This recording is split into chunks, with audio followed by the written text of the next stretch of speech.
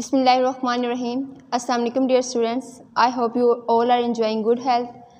This video lecture is for class 1 subject English lesson number 2 The Lucky Leaf. Today we are going to start question answer.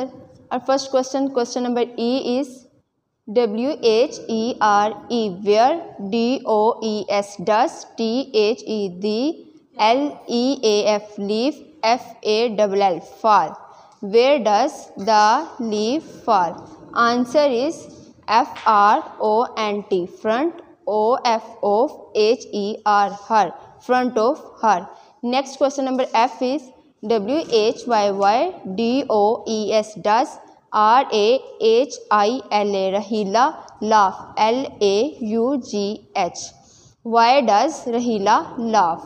Answer is B E C A U S E because S H E she F I N D S finds H E R her B A N G L E S bangles because she finds her bangles. I hope you will understand this lecture. Thank you so much.